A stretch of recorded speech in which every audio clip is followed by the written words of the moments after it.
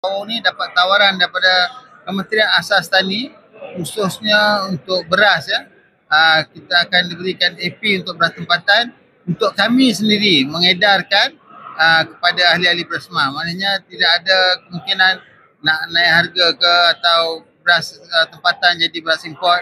Benda ni saya rasa sesuatu yang positif dalam pertemuan kami dengan Kementerian uh, bukan seminggu yang sudah dan kita juga berharaplah KPDN juga akan uh, tampil dengan uh, usaha-usaha lain yang boleh memudah kan?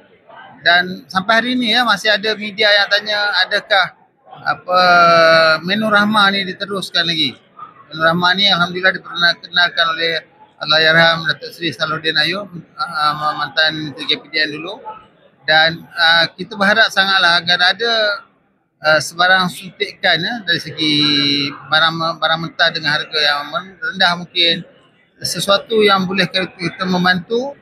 Sungguh pun ya menu rahman ni mungkin bukan satu penyelesaian jangka masa panjang.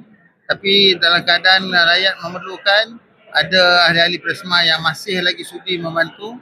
Uh, termasuk saya sendiri masih lagi menyediakan menu rahman. Tapi saya rasa perlu ada juga bantuan dan dukungan dan sokongan daripada kerajaan juga untuk kita melahirkan program begini. Uh, baru lagi baru seminggu sudah kita bincangkan. Kita harap secepat mungkinlah tu dapat dilaksanakan.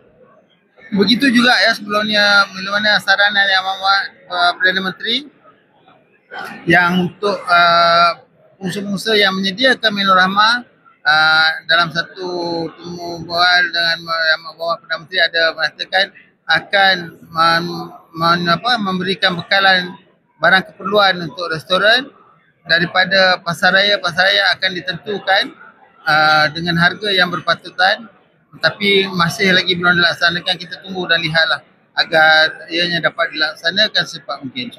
Ya, dan itu baru baru lagi kan baru seminggu ni baru baru buka mulut bincang benda ni maknanya kita tak tahu apa mekanisme dia uh, banyak mana kita akan lebih happy dan macam mana kita nak mengedarkan semua tu akan kita bincangkan kita zahirkan kemudian lah. Tapi saya ada nampak ada cahaya di luar terowong sana. Itu kita dapat yakin dan kita berharap sangat agar ianya dapat dilaksanakan secepat mungkin. Sebab sekarang ni semua orang tanya beras apa nasi naik ke setakat ni memang tak naik. Tapi sampai bila kami boleh bertahan? Ha, itulah. Kalau ada jalan penyelesaian win-win situation ni sangat-sangat perlulah sekarang